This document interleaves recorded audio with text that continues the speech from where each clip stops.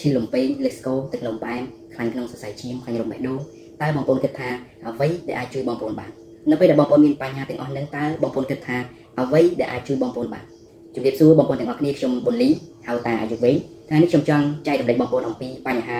លើស្កបញ្ហាខ្សោយលំពេងបន្តិចចំពោះបញ្ហាលើស្កបញ្ហាទឹកនោមផ្អែមតើបងប្អូនគិតថាអ្វីដែលអាចជួយបងប្អូនបានពិតប្រាកដ គឺអត់មានអ្វីក្រៅអំពីវីតាមីនប្រូតេអ៊ីនរួមជាមួយនឹងសារធាតុចិញ្ចឹមល្អល្អកម្រិតខ្ពស់ដើម្បីជួយបងប្អូនទេខ្ញុំឧទាហរណ៍ពាក់ព័ន្ធជាមួយនឹងបញ្ហាលើស្កមួយទៀតចុះ នៅពេលដែលបងប្អូនមានបញ្ហាលើស្គរគឺបណ្ដាលមកពីកោសិកាលំពេងរបស់បងប្អូនត្រូវបានចុះខ្សោយត្រូវបានត្រុតត្រោមឬក៏វាមិនដំណើរការរហូតដល់ផលិតអរម៉ូនមួយដែលមានឈ្មោះថាអរម៉ូនអាំងស៊ូលីនមិនបានល្អអរម៉ូនអាំងស៊ូលីននេះឯងដែលមានមុខងារទៅចាប់ស្គរពីក្នុងសរសៃឈាមបញ្ជូនទៅក្នុងថ្លើមបញ្ជូនទៅសាច់ដុំដើម្បីឲ្យប្រព័ន្ធរាងកាយរបស់យើងនេះរឹងមាំអញ្ចឹងបញ្ហាលើស្គរកន្លែងដែលបងប្អូនត្រូវដោះស្រាយឲ្យចំគោលដៅនោះគឺលំពេងកោសិកាលំពេង នៅពេលដែលកោសិកាលំពេងរបស់បងប្អូនធូរស្បើយវាអាចផលិតអរម៉ូនអាំងស៊ូលីនដែលខ្លាំងដែលអាចចាប់ស្គាល់បាននោះសុខភាពបងប្អូននឹងមានឱកាសល្អប្រសើរហើយ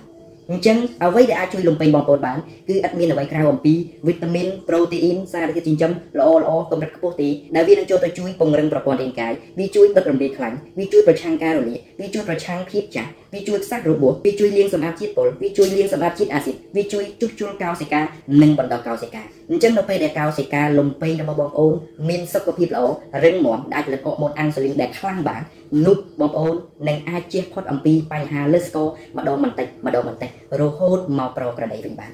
ហើយវីតាមីនប្រូតេអ៊ីនរួមជាមួយនឹងសារចិញ្ចឹមតើបងប្អូនអាចរកនៅកន្លែងណាបានគឺឥតមានអ្វីក្រៅពីបន្លែត្រីសាច់ទេបងប្អូនបន្លែត្រីសាច់ រុក្ខជាតិមើមរុក្ខជាតិសម្បកឈើឬឈើគឺរបស់អស់នឹងឯងនៅលើផែនដីនឹងទោះបីជាបងប្អូនជីកកោះកាយស្វែងរកអ្វីដែលថ្មីប៉ុណ្ណាក៏ដោយក៏វាអត់មានអ្វីក្រៅអំពីវីតាមីនប្រូតេអ៊ីនរួមជាមួយនឹងសារធាតុចិញ្ចឹមអស់នឹងដែរអញ្ចឹងបងប្អូនស្វែងរករបស់ណាមួយដែលសម្បូរទៅដោយវីតាមីនដែលមានវីតាមីនប្រូតេអ៊ីនសារធាតុចិញ្ចឹមល្អល្អកម្រិតខ្ពស់ទៅបងប្អូននឹងអាចមានឱកាសធូរស្បើយពីបញ្ហាសុខភាពឬក៏សុខភាពបងប្អូននឹងកាន់តែរឹងមាំពីមួយថ្ងៃទៅមួយថ្ងៃ